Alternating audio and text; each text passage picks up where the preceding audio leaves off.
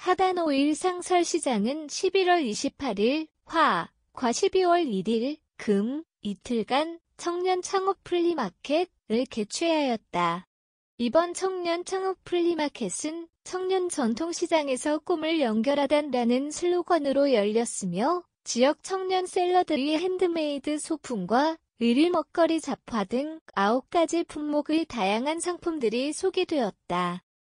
이번 청년 창업 플리마켓은 하단 오일 상설시장 특성화 첫걸음 시장 육성 사업 준비 예산으로 진행된 사업으로 지역 청년들의 창업 열정과 노력을 지원하기 위한 행사로서 하단 오일 상설시장의 새로운 모습을 선보이기 위한 중요한 계기가 되었다.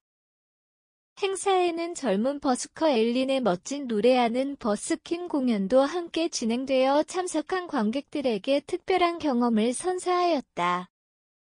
이번 청년 창업 플리마켓을 통해 하단오일 상설 시장은 장날뿐 아니라 평일 상시에도 많은 지역민들이 찾을 수 있는 시장으로 거듭나기 위한 계획을 가지고 있다. 지역 청년들의 창업의 지와 창의력을 지원하고 지역민들에게 다양한 상품과 서비스를 제공함으로써 시장의 활성화와 지역 경제의 활성화에 기여하고자 한다.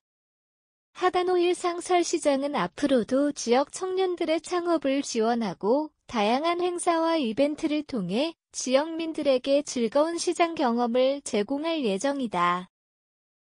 지역 경제의 활성화와 함께 지역 주민들의 생활 편의를 높이기 위해 끊임없는 노력을 기울일 것이다라고 관계자는 말했다.